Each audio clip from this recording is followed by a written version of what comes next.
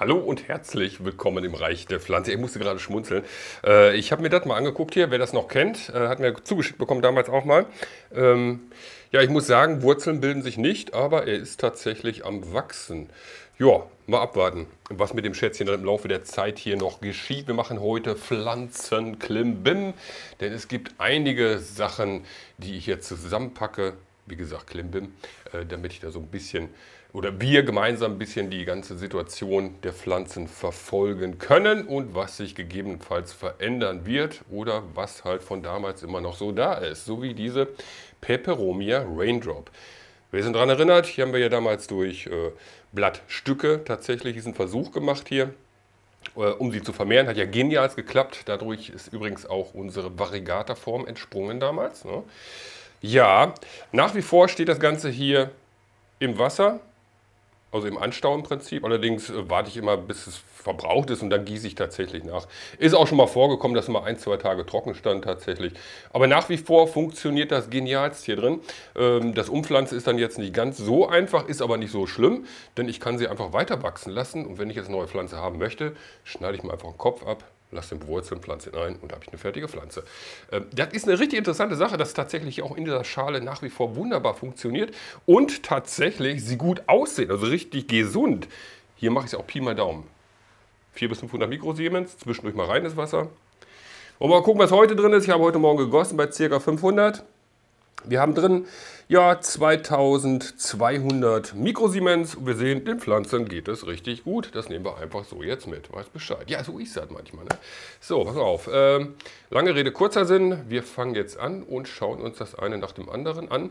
Ich würde sagen, wir fangen ja, ich weiß gar nicht. Komm, ich, ich fange an und dann sehen wir, was jetzt kommt. Besser ist das, ne? bevor man irgendwas sagt und dann plötzlich zehn Sekunden später äh, hat man wieder eine ganz andere Idee in dem Sinne. So, schaut das jetzt aus hier. Also richtig genial, ne? 2200 Mikrosiemens. Ja, ich würde sagen, das sieht gut aus. Let's start it. Frangipani, unsere Plumeria, äh, drei verschiedene Sorten. Nach wie vor ist nur eine Sorte richtig gut am Wachsen. Das ist schon interessant auch mitzunehmen, ähm, dass das tatsächlich so gegeben ist. Das ist die Kaumali hier. Ähm, ja, also die wächst richtig gut, muss ich sagen. Äh, ich werde sie heute auch vereinzeln. Äh, und die anderen beiden Sorten, ja, die drucksen so vor sich hin. Ne? Da ist jetzt also nicht wirklich viel äh, zu sehen. Hier ist immer noch der Samen drauf. Ich versuche ihn mal abzuziehen. Ich versuche, versuche ganz vorsichtig. Oh, das hängt aber fest. Der hängt aber richtig fest. Pass mal auf, ganz vorsichtig. Einmal von der Seite. So, ja, das war es auch schon. Nee, komm, ich lasse nur dran. Was ich machen werde, ich werde ihn gleich einsprühen, äh, das mal ein bisschen feucht machen. Mal gucken, ob ich die Tüte dann davon abkriege. Ich drehe das mal so ein bisschen, dass man das sehen kann. Ja, der hängt also richtig fest drin.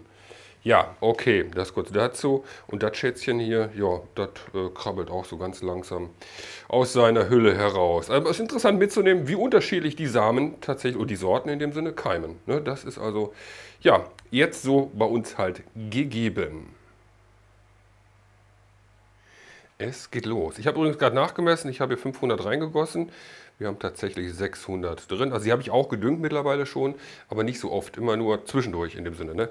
In der Regel mit reinem Wasser und zwischendurch dann dementsprechend mit 500. Und wir sehen, sie haben wunderschönes, kräftiges Grün ausgebildet. Also das ist soweit schon mal richtig okay. Den kleinen hatten wir ja vor kurzem schon mal raus, hat ja ganz wenig Wurzeln, das wissen wir schon. Und ich denke mal, bei dem großen wird es auch nicht viel mehr sein. Ja, aber immerhin, es sieht gut aus. Er sieht gut aus. So, ich lege mal vorsichtig hin hier. So, auf dich buddeln wir dann auch gleich wieder ein hier. Das mache ich mal kurz hier drauf direkt. Der bleibt dann noch ein bisschen hier drin. Also wir sehen, viel Wurzeln machen die jetzt nicht. Ne? Das ist gut mitzunehmen zu wissen in dem Sinne erstmal. Okay, was ist auch, oh, pass auf, ähm, ganz vorsichtig. So, ich stelle ich erstmal hier drauf und ein bisschen nass machen auf jeden Fall damit wir die Wurzeln nicht abtrocknen. Mal auf, ich gieße einen ganz kleinen Schluck hier drüber. So, das reicht aus. In der Untersetzer steht voll, da saugt das Wasser auch nach oben dann jetzt. Okay, dann kommen wir jetzt zu dem Schätzchen hier und pflanzen ihn dann direkt in einen Topf, wo er dann erstmal eine Zeit lang drin weiter wachsen darf. Komm mal her. So. Also wir sehen, ne, ist cool, richtig quietschegrün. Aber wie gesagt, es ist abhängig von den Sorten auch tatsächlich. Ne? Oder vielleicht liegt es an der Qualität der Samen, auch durchaus denkbar. Aber wir nehmen das jetzt so mit, wie es halt gegeben ist. Äh, ich würde sagen, wir pflanzen ihn auch ein kleines Stückchen tiefer, ungefähr so anderthalb Zentimeter. Ja, weit heißt anderthalb Zentimeter, ein bis zwei Zentimeter, sagen wir mal so. Ne? So, dann steht auch stabiler gleich hier drin. Und auch hier, ganz klarer Fall, werden wir das Ganze durchspülen mit Nährstoffen hier bei 500 Mikrosiemens circa.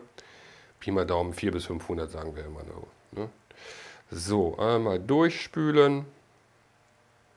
Und somit haben wir das Ganze jetzt tatsächlich weiter vorbereitet und können dann beobachten, wie die Frangipani sich hier weiterentwickeln wird. Siehst du wohl, war doch gar nicht so schwierig, ne? So, dann setze ich das Etikett wieder bei. Wir gestartet haben das Ganze am 19.01.21. Am 23.01. war die Keimung damals gewesen. Ich hänge es mal hier rein, vielleicht kann man es ja lesen. Ja, okay, also. Haben wir sie beide versorgt. Was machen wir jetzt? Achso, pass auf, das wollte ich eben ganz kurz nochmal nachmessen hier bei der Raindrop. Bei der Raindrop, Raindrop, was haben wir hier drin? 850 Mikrosiemens. Auch hier läuft das tatsächlich richtig gut. Das war die Vermehrung durch ein Blatt damals gewesen. Äh, die hat ja heftig viele, viele kleine Pflanzen. Die kann man so schon erkennen. Ne? Sollten wir auch mal umtopfen. Sollten wir mal machen. Ähm, pass mal auf, das machen wir jetzt auch. Das machen wir auch. Warte mal. Wir haben hier unten wieder Perlit mit reingemacht, im Prinzip als Drainageschicht und vor allen Dingen, wir gehen davon aus, dass es äh, für die Wurzeln besser ist. Das ist aber noch ein Test nach wie vor. In der Anzucht für Stecklinge richtig coole Sachen oder auch für Jungpflanzen. Aber mal gucken, wie wir damit weitermachen. Moment, jetzt habe ich ja den Untersetzer gar nicht. Hier, pass mal auf. Jetzt hätte ich einfach fast so angefangen hier. So, der darf ruhig dreckig sein, das spielt keine Rolle. Und dann holen wir das jetzt mal raus. Das wird wahrscheinlich alles recht wackelig sein dann. Weil die Pflänzchen ja oben aufstehen. Ne? Das ist nun mal so gegeben. So, drücken wir das Ganze mal und ziehen vorsichtig. So, perfekt. Okay, jetzt halte ich das ganze Gewurstel einfach hier rein. Wenn jetzt mal ein paar Blätter abbrechen oder wie auch immer, das spielt keine Rolle. Das ist nicht so wichtig. Wir gucken, dass wir das Ganze jetzt ungefähr, ja, durchaus so zwei Zentimeter tiefer kriegen, äh, damit die Pflänzchen später etwas stabiler stehen. Auch beim nächsten Umtopfen werden wir das dann wieder machen, dass wir das Ganze dann wieder etwas tiefer einpflanzen. Denn in der Regel stehen sie recht wackelig. Wie gesagt, sie sind ja oben aufgewachsen im Prinzip auf dem Substrat. Ne? Das ist äh, von daher schon wichtig, dass wir sie jetzt tiefer bringen. Wie gesagt, wenn er jetzt ein Blättchen abknickt oder so, das spielt keine Rolle. Das ist nicht so wichtig. Da sind die nämlich ein bisschen empfindlich. Die brechen recht schnell. So, mal gucken. Da kommt jetzt ein Blatt mit in die Erde. Wenn jetzt mal eins drin ist, weiß Bescheid. Ne? Okay. Aber wir achten doch schon drauf dass das hier ordentlich funktioniert, abläuft in dem Sinne. So, einmal drehen das Ganze. Ach, sind wir ja schon fast fertig, siehst du wohl. Ja, manches geht ganz einfach, ne? vor allem mit diesem Substrat, mit dem Mineralsubstrat. Ne? Der mir jetzt mit Erde hier rumhampeln muss, ey, das wäre jetzt aber auch das. ja, das wäre nicht so einfach dann. Ne? So kannst du schön das Substrat reinlaufen lassen, rieseln, fließen, wie auch immer. Siehst du wohl, guck mal, so schnell geht das. So, ähm, was gießen und düngen wir jetzt? Weißt du, ne? ich habe die Gießkanne in der Hand. Ja, genau. Bei ca. 1000 Mikrosiemens tatsächlich. Aber auch hier müssen wir das durchspülen. Ich muss gleich mal einen anderen Untersetzer nehmen oder ein anderes Behältnis, wo ich das mache. Denn hier ist jetzt noch ein bisschen wenig, was ich hier reinlaufen lassen kann in den Untersetzer. So, erstmal kurz angegossen. Dann mache ich das jetzt auch noch kurz. Just for fun. Einmal hier. Komm mal her. Das müsste doch passen hier. Das dürfte doch passen. Ja, siehst du wohl. Wunderbar. Kannst du das jetzt noch sehen? Ja, guck mal, passt sogar von der Einstellung her. So, dich muss ich jetzt einmal kurz hier reinstellen, sonst habe ich nämlich keinen Platz mehr. So, jetzt spülen wir das Ganze wieder durch, wie wir es gewohnt sind. Ne? Das ist schon ganz wichtig, damit wir gegebenenfalls, falls irgendwas drin sein sollte, was die Pflanzen nicht mögen, dann auch schon mal mit rausgespült wird. Siehst du wohl. Wunderbar. Hat doch genial geklappt. Siehst du wohl, ne? Manchmal klappt es ja auch auf Anhieb. So, Kaffeepause. Geht gleich weiter. Ganz wichtig jetzt zum Schluss diese Aktion hier bei der Frangipani. Wir haben ja gesehen, sie hat nicht viele Wurzeln. Wir haben sie gedüngt bei 500 circa. Dürfen wir aber jetzt nicht jedes Mal 500 reingeben. Die nächsten zwei Male rein das Wasser und dann wieder mit 500. Ähm, kannst du bald so halten wie bei Zimmerpflanzen, in dem Sinne auch, die jetzt im Blumenerde stehen. Denn wie gesagt, wir haben viel Substrat und wenig Wurzel. Das heißt, also die Wurzeln müssen da ja erstmal hinwachsen, um die Nährstoffe zu holen. Und da, wo sie nicht hinwachsen, können sie die Nährstoffe nicht holen. Das heißt, sie bleiben drin. Ne? Ganz wichtig zu wissen, genauso wie hier bei unserer Peperomia Raindrop jetzt, genau das gleiche. Wir haben sie bei 1000 gedüngt jetzt, das ist okay. Die nächsten zwei Male tatsächlich entweder mit äh, reinem Wasser oder mit 500. Ähm, auf der sicheren Seite bist du mit 500, ne? ist schon ganz klar. Gegebenenfalls einfach Untersetzer nachmessen, was drin gegeben ist dann nach dem Gießen. Das ist dann natürlich nochmal eine Hausnummer einfacher in dem Sinne. Äh, aber wenn man das nicht kann, dann sollte man das, ja im Prinzip kannst du schon so sagen, wie ich vorhin sagte, sagen, sagen. Ne? Sagt er, dass er was sagt. Okay, also nicht zu viel düngen, nicht ständig mit der vollen Dosis düngen, sondern ab und zu, nicht ab und zu, sondern äh, jedes zweite und dritte Mal im Prinzip dann mit reinem Wasser. Da bist du auf der sicheren Seite und dann danach wieder mit 1000 tatsächlich hier bei der Peperomia Raindrop dementsprechend reagieren. So, jetzt kommen wir zu dem Schätzchen hier, äh, unsere Variegata-Form die aus einer grünen Pflanze entstanden ist. Das ist übrigens ein Geschwisterchen von der, die wir vorhin in den Schalen gesehen haben. Da hat sich das damals so gezeichnet, haben wir sie rausgeholt und weiter kultiviert und das hat genial geklappt, steht auch schon in der Vermehrung. Ähm, sie bekommt neues Blatt, das schauen wir uns jetzt an, das sieht richtig gut aus und auch hier muss ich einmal kurz messen, was Tatsache gegeben ist, denn auch hier gieße ich und dünge ich Pi mal Daumen bei 4 bis 500, ab und zu aber auch mit reinem Wasser. Jetzt haben wir aber schon gesehen tatsächlich, dass die Peperomia mehr vertragen. Das heißt aber nicht, dass wir ständig mehr geben dürfen, weil es, ne, weißt du, wird ja mehr, mehr, mehr und mehr. Ne? Und dann ist irgendwann zu viel. Da muss man schon ein bisschen aufpassen. Also da ist man echt auf der sicheren Seite, wenn man einmal kräftig düngt in dem Sinne und dann gegebenenfalls äh, zweite, dritte Mal mit reinem Wasser und dann wieder kräftig düngen. So, wir sind hier bei knapp 600 Mikrosiemens. Das ist also okay. Äh, da brauche ich jetzt also keine Bange haben. Sie wird auch schon mehr Wurzeln jetzt gemacht haben. Sie steht ja schon einige Zeit hier drin. Dementsprechend verbraucht sie auch mehr, weil die Wurzeln ja in dem Sinne schon fast überall sind. Ne? Von daher ist das soweit ganz okay. So, und schauen wir uns jetzt mal kurz das Blättchen an. Ähm, auf Instagram hatte ich gestern gezeigt, die Mama. Warte, oh, ja, die Mama. Oh, die Mama. Oh, oh, oh, oh, ja. Okay, das müssen wir gleich auch noch machen. Die Mama werden wir heute umtopfen, denn die hat ein paar Probleme.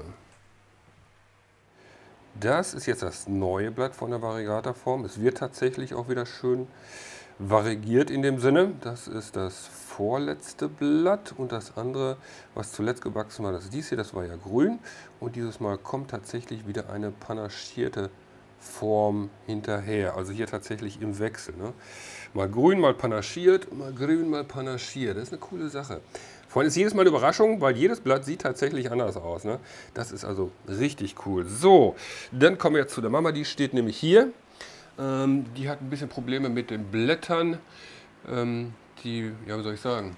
Moment, ich zeige es mal. Hier kann man es vielleicht erkennen. Da, das sind jetzt auch so, treten so ein paar Risse auf und hier äh, eine sehr interessante Blattform.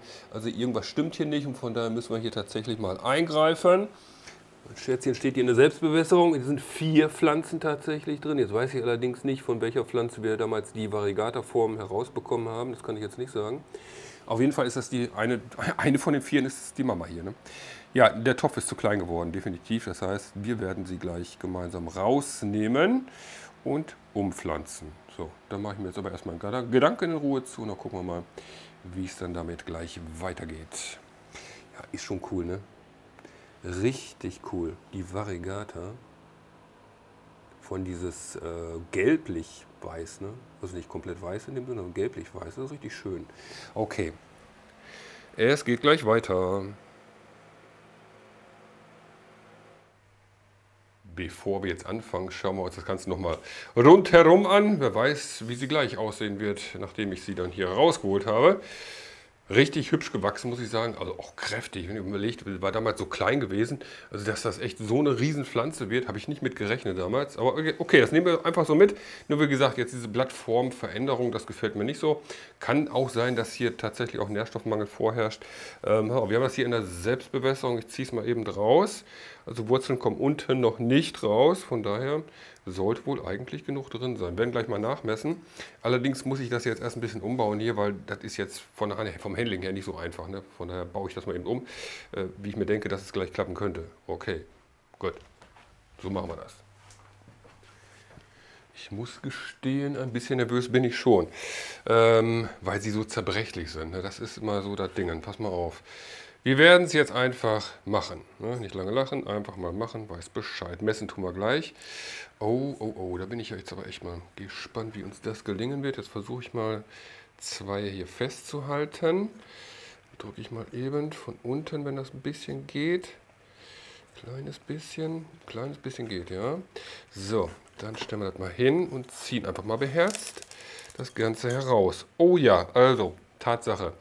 Ähm, der Topf ist zu klein geworden. Das steht definitiv fest. Ich stelle mal eben rein und gucke mal, ob das so passt hier.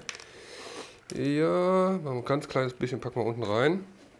Ich bin gerade überlegen, ob ich doch einen größeren Topf nehme. Ähm, nee, das reicht aus. Wir haben ungefähr, ja, Pi mal Daumen, zweieinhalb Zentimeter rundherum oder zwei Zentimeter. Nee, das reicht. Pass mal auf. Bisschen unten rein, nicht zu viel auf einmal. Das kennen wir ja schon, ne? Okay, so, das passt. Wunderbar. Oh, das ging doch jetzt einfacher. Oder geht einfacher. Nicht ging. Es geht ja, ne? Es ging nicht, es geht. Was Bescheid. Es geht einfacher als gedacht. So, siehst du wohl. Dann befüllen wir das Ganze jetzt rundherum. Hier können wir tatsächlich auch das Ganze wieder ein bisschen tiefer setzen. Nicht zu viel, aber so ein bisschen. So, ich fülle jetzt rundherum erstmal ein bisschen ein, damit er mir nicht auf eine Seite rutscht, damit wir rundherum also auch gleichmäßig viel Substrat drin haben. Oh, das ist jetzt aber mal easy. Oh, ich hatte so eine Bammel vorhin gehabt, ich sag's dir. So eine Bammel gehabt. So, einmal drehen. Guck mal, steht ja schon so ein bisschen. Ein bisschen steht ja schon. Guck, dass er gleich gerade steht. Ach, das ist ja cool. Siehst du wohl, geht doch einfacher als gedacht.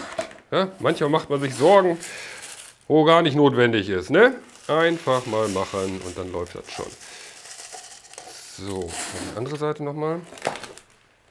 Ich mir jetzt nicht zu viel auf eine Seite. Ja, das passt noch, siehst du. Wunderbar. Wunder, wunderbar. Oh Mann. Also ich bin mal gespannt gleich, was im Wasser tatsächlich drin ist. Ne? Da bin ich echt gespannt drauf. So wie es aussieht, müsste es ja eigentlich zu wenig sein. Ne? Also ich gehe davon aus, ich gehe davon aus. Ne? Aber wir wissen ja, Theorie und Praxis sind immer zwei verschiedene Sachen. Von daher, so, haben wir hier nochmal gucken. Vielleicht könnte ich auch im unteren Bereich die Blätter nochmal wegnehmen. Ähm, sollte ich das mal machen? Warte mal.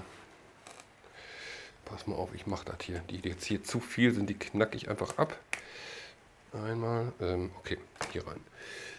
Dass ich da so ein bisschen auch Stamm sehen kann in dem Sinne. So, den noch, den noch hier. Ja, so ist das okay. Ist du? Oh, ich sag's ja, du. Auch hier könnte man jetzt noch äh, diese Zebrakraut mit reinpflanzen. Das Problem, aber Problem ist es nicht. Wenn man es dann wieder umtopft, einmal komplett zurückschneidet, das Zebrakraut ist auch gut, ne? Ist nicht so das Problem. So, okay, das haben wir jetzt soweit fertig. Hier werden wir jetzt durchgießen. Die lege ich mal just an die Seite. Nee, noch nicht. Halt, halt, halt, halt, halt. Erstmal messen, was hier Sache ist, ne? Dass wir da auf der sicheren Seite sind. Auch geht eigentlich 1200. 1200, ja, ne, weiß Bescheid denke, das ist okay. Könnte vielleicht sogar ein bisschen mehr werden in dem Sinne. Pass mal auf. Wir gießen also tatsächlich bei 1000 Mikrosiemens das Ganze durch hier. Spülen es durch, ne? wie wir das schon kennen. Okay, ah, dann, ja, es ist, also er war zu sehr beengt, das war Tatsache so gewesen. Ne? Ja, was heißt er? Es sind ja mehrere, ne? von daher, da hinten auch was durchspülen. Es sind ja mehrere und die unterdrücken sich natürlich auch so ein bisschen, dann ist ganz klarer Fall. Ne? So, ordentlich durchspülen das Ganze. Oh, so, warum habe ich jetzt hier kein Perlit unten reingepackt? Ähm, ganz einfach, weil mir das äh, eine zu große Ampelei gewesen wäre. Von daher, weil es läuft ja mit dem Vulkatec Aktinprimsubstrat gemischt mit dem Ceramis, drei Teile Vulkatec, ein Teil Ceramis. Läuft sehr genial. Und äh, Sinn und Zweck der Sache, was wir so machen bei dem Perlit, ist ja erstmal, um zu gucken, wie reagieren die Pflanzen drauf. Ne? Vor allem, dass wir dann, wenn wir große Gefäße haben, später dann auch mehr Perlit mit reinpacken können, damit die nicht ganz so schwer werden. Ne? Siehst du wohl? Ja, wunderbar. Hat doch alles geklappt. Kommen wir jetzt nochmal zu der variegierten Form, die selbstständig entstanden ist hier von einer der Pflanzen, die hier drin stehen jetzt. Ne? Ähm, so, oh, wir haben sie ja bereits in der Vermehrung, hatte ich ja vorhin schon erzählt am Anfang. Wir hatten schon ein variegiertes Blatt hier drin, das ging damals so ein bisschen kaputt, das hatte Probleme gehabt, dann habe ich es abgenommen und habe es dann tatsächlich zur Vermehrung schon mal herangezogen. Hier sehen wir, ähm, Moment, hier sehen wir das, das Blatt mit Stiel. Das haben wir einfach hier reingesteckt. Ne? Und Tatsache, ja, es sind schon Babys rausgewachsen, aber momentan sind die Blätter noch grün. So, und den Rest, den wir dort abgeschnitten haben von dem Blatt, das haben wir damals hier reingesteckt. Und auch das läuft richtig gut. Hier haben wir sogar außer grüne Blätter tatsächlich auch, ich muss das mal eben drehen, warte mal, eine Alba-Form. Also keine Variegata, sondern eine Alba. Das wird man jetzt wahrscheinlich nicht so gut sehen können. Äh, dort, wo der Weißanteil ist, so kommen so weiße Blätter raus. Ne? Äh, müssen wir weiter beobachten, wie sich das entwickelt, aber auf jeden Fall sehr interessant. Vor allen Dingen interessant wird, ob dann tatsächlich noch äh, variierte Formen herauskommen. Das sehen wir ja später, denn auch hier bei der Pflanze, bei der Mutterpflanze in dem Sinne dann, haben wir grüne Blätter auch. Ne? Anfangs sowieso grün gehabt und dann kam so eine ganz leichte Sprenkelung und irgendwann kam dann das variierte Blatt, was wir jetzt in der Vermehrung haben. Und dann kam wieder ein grünes und dann wieder ein variegiertes, dann kam wieder ein grünes und jetzt kommt wieder ein variegiertes Blatt heraus. Das ist schon mal eine richtig coole Sache, auch für die Pflanze selber. Dann geht es der auch besser, wenn sie mehr grüne Blätter hat, als wenn sie jetzt nur äh, variegierte hat oder ganz weiße, so was wir jetzt halt einfach auf der rechten Seite sehen können. Von daher ist das schon gut gelaufen, muss ich sagen, aber nach wie vor müssen wir abwarten, wie es damit weitergeht. Denn es wäre schon schön, wenn wir tatsächlich diese Pflanze hier in Erscheinung auch vermehren könnten. Das wäre eine richtig coole Sache. Also das wäre im Prinzip Babys bekommen, die genauso aussehen. Das meinte ich damit eigentlich. Ne? So, und dann kommen wir jetzt ganz kurz zu der Peperomia obtusifolia hier in der Wasserkultur. Damit das ein bisschen schicker wird, machen wir das jetzt mal. Dann kommen wir zu der Obtusifolia. Das läuft nämlich wirklich wunderbar in der Wasserkultur. Da werden wir auf jeden Fall dieses Jahr noch einiges erleben werden, mit Sicherheit. So, hör mal auf. Ähm, das sieht nämlich jetzt nicht so hübsch aus mit dem Becherchen. Ne? Und das könnte auch schnell umfallen, weil das nicht wirklich Stabilität hat. Mal ein bisschen drehen. Ich habe mir eine kleine Vase besorgt. Siehst du wohl, guck mal. Sticht schön weiß, ne? Richtig cool. Ähm, so, die kommt jetzt da rein. Wir haben hier bei 200 Mikrosiemens gedüngt damals. Ich habe nochmal nachgemessen, wir haben knapp 100 drin. Das heißt, also ich habe mal reines Wasser einfach hinterher gegossen. Ne, manchmal mache ich das einfach so. So, hier haben wir jetzt 300 Mikrosiemens drin. Ich hoffe, es reicht. Ja, könnte. Kleinen Schluck noch. Pass mal auf. Kleinen Schluck könnte er noch gebrauchen. Ja, er muss noch einen Schluck haben. Pass mal auf. Dann muss ich jetzt aber reines Wasser hinterher gießen. Da kann man es halt ein bisschen weniger, aber das ist jetzt nicht ganz so viel. Pass mal auf. Aber es ist halt ne, jetzt noch mehr mit Nährstoff kann ich nicht hinterher gießen, sonst wird das zu viel. Pass mal auf. Eins, zwei, drei. So, dann kommt das Schätzchen jetzt da rein. Wurzeln sehen nach wie vor richtig gut aus. Das ist so eine coole Sache. Richtig genial. Siehst du wohl, guck mal. Wie hübsch das ist. Und tu mal den hässlichen Becher mal an die Seite. Das ist doch schön, ne? Wirklich wunder, wunderschön. Äh, man könnte diese Vase auch noch ein bisschen kreieren selber, weil die so eine schöne Musterung, also ähm, Vertiefung hat. Die könnte man noch farblich gestalten tatsächlich auch. Aber das lasse ich, ne? Das ähm, erstmal, weiß Bescheid. Wir haben genug zu tun hier. Och, das ist doch cool, ne? Siehst du wohl. Ja, und hier mit diesen Alba, also da, das ist jetzt auch, ob die überlebensfähig sind, das ist natürlich eine andere Frage. Ne? In der Regel sterben die ja, die Albas. Naja, vielleicht haben wir Glück, es kommt bei den Grünen tatsächlich noch eine panaschierte Form hinterher. Das war bei der, bei der Mutter damals ja genauso gewesen. Die war anfangs ja auch grün und dann kam so eine Sprenkelung erst. Ne? Und dachte erst wäre eine Krankheit oder so. Und dann plötzlich kam dieses wunderschöne Blatt, was wir jetzt zerlegt haben. Ja, siehst du, ach, das ist doch hübsch, ne? Sieht doch gut aus, aber ich glaube schon, man könnte diese Vertiefung tatsächlich ein bisschen farblich gestalten. Äh, ich überlege mir da mal was. Man könnte das auch komplett anstreichen und dann mit einem ganz feinen Schmirgelpapier die Rillen, ich glaube, das kann man jetzt nicht so, doch ein bisschen kann man es erkennen, die Rillen, die hier gegeben sind, äh, nachschleift. Ne? Also, an, dass man mit einem Papier, Schleifpapier einfach so drüber streicht und dann kommt das Weiß ja wieder zum Vorschein. Das habe ich damals mit Holz immer gemacht. Und das wäre eine coole Sache. Welche Farbe nehmen wir denn dafür? Was sagst du dazu? Was wäre deine Farbgebung?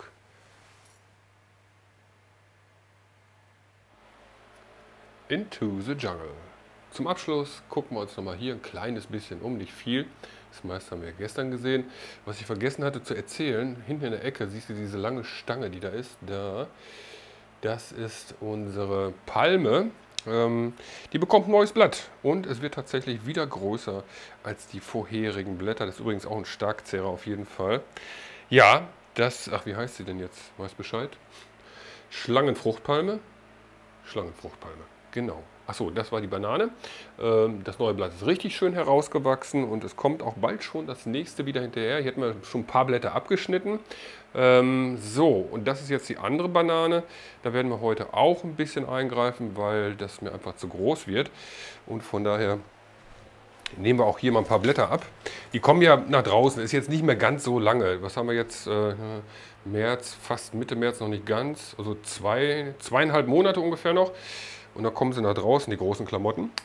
Und von daher mal gucken, wie das funktioniert. Das Coolste ist ja überhaupt, dass die in so einem kleinen Topf stehen. Ne? Da wird das Einpflanzen natürlich richtig genial. Und ich habe mir überlegt, tatsächlich äh, sie ins Hochbeet zu pflanzen. Weil da kriege ich sie dann auch wieder raus zum Herbst. Denn wenn ich sie in die Erde pflanze, bei uns, das geht nämlich nicht so gut, weil wir Lehmboden haben. Und zum anderen habe ich auch keinen großartigen Platz in dem Sinne. Ne? Und von daher äh, ist das schon eine coole Sache, das Ganze ins Hochbeet zu pflanzen. Ich muss auch gucken, wie es läuft, weil wir haben hier starke Winde bei uns. Wir leben hier im Tal. Ne? Zwei Bergketten im Prinzip. Wir sind unten im Tal. Und wenn es mal richtig stürmt, dann zieht der Wind durch das Tal durch, ne? an den Bergketten vorbei. Ja, und dann geht hier echt die Post manchmal ab. von daher muss ich gucken, ob es klappt oder nicht klappt. Versuch macht klug, wie wir wissen. Und von daher äh, wollen wir mal sehen. Ich könnte ja auch die Hochbeete nehmen, die gleich hier am Anfang des Gartens sind. Ähm, könnte ich eigentlich machen, ne? Hört mal auf. Äh, was auch cool ist, wir haben hier verschiedene Lampen, diese 36 Watt LED-Lampen, Pflanzenlampen. Das Coolste ist, beim Filmen jetzt kann ich die variieren. Jetzt habe ich diese hier nämlich ausgemacht, sonst wäre das nämlich viel zu hell gewesen. Pass mal auf, ich zeige das mal eben. So, siehst du wohl, ne? Das ist schon eine coole Sache. Da kannst du richtig gut bei helfen. Wenn du filmst, ne, kannst du einen ausmachen, dann hast du den Hintergrund nicht ganz so hell. Auch eine richtig coole Sache. Ganz nebenbei mal bei diesen Lampen so mitgenommen. So, okay dann haben wir es heute. Weiß Bescheid? Winke, winke. Bis ganz bald hier aus dem Reich der Pflanzen. Und ich denke, wir werden im Laufe des Jahres noch einiges mitnehmen, was sich auch verändern wird in dem Sinne. Ne? Das, was wir letztes Jahr im Prinzip so angefangen sind, wird sich nach und nach weiterentwickeln, werden sehen, was sich dann tatsächlich entwickelt. Wie wir es jetzt auch bei der Peperomia gesehen haben, tatsächlich mag sie auch wirklich mehr Nährstoffe und sie mag keinen engen Topf. Also sie mag nicht eng drinstehen mit den Wurzeln, sagen wir es mal so. Ne? Dann fängt sie tatsächlich an rumzuzicken. Gut, dass wir das heute schon mal so mitnehmen konnten. Ja, ansonsten, ich wollte noch ein paar andere Sachen zeigen, aber das wird dann jetzt doch zu viel. Heute ist Sonntag und ich mache jetzt Feierabend, ein bisschen die Ruhe antun. Ach, das ist so schön, ey. So, pass mal auf, aber das sage ich ja jedes Mal, das weißt du, ne? Es ist aber nun mal so. Es ist einfach schön. Richtig schön anzusehen. Ehrlich gesagt, das macht drin sogar viel mehr Spaß als draußen. Also mir jetzt, weil ne, ich kann mich körperlich nicht wirklich anstrengen und von daher ist das hier für mich natürlich wesentlich einfacher. Ja, das ist übrigens die japanische Faserbanane. Richtig, genau. Und die haben wir schon ein paar Jahre. Die war damals in einem ganz, ganz kleinen Topf. Und wir haben sie immer wieder rausgeholt. Damals noch in Kokoserde. Haben sie rausgeholt aus dem kleinen Topf. So ein Orchideentopf, ein durchsichtiger war das wenn der Wurzelraum durchwurzelt war, haben die Wurzeln zurückgeschnitten und haben die Pflanze wieder in den gleichen Topf eingepflanzt. Und das haben wir also wirklich lange, lange Zeit gemacht, äh, bis ich irgendwann mal gesagt habe, komm, die bekommt jetzt einen größeren Topf. Lachst dich kaputt, größeren Topf. Ne? Ja. Ja, die, ja. ja. Es ist halt groß. Pass auf, ich zeige es nochmal für den, der es noch nicht gesehen hat. Ähm, ne, die kriege ich ja gar nicht so. Oder kriege ich die doch mal hochgehoben? Zieh mal vorsichtig dran hier. Ja, guck mal. Äh, auch wenn ich die Blätter nicht abbreche. Kann man sie sehen? Kann man sehen? Ja, ne? Hoffe ich mal. Äh, wenn nicht, dann nicht. Oh, das ist schon heftig, ne? dass die Bananen in so kleinen Töpfen wachsen können. Das ist echt der Hammer. Man könnte ich die mal ein bisschen drehen hier. So. Nee, nicht zu nah an der Mango. Warte mal, wir das doch so. Pass mal auf. So. Okay, muss ich gleich mal gucken. So, jetzt aber. Ciao, ciao reicht für heute.